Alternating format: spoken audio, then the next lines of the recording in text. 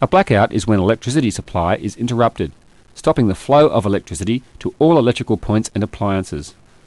It can also be caused by a storm, fallen power lines, or a power problem at the substation, or through an electrical fault in your house.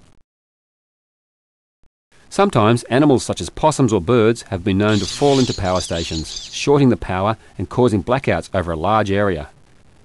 If you happen to experience a blackout, switch off all appliances, but leave one light switch on so you will know when power is restored. Always try to have a torch or some candles handy in the event of a blackout.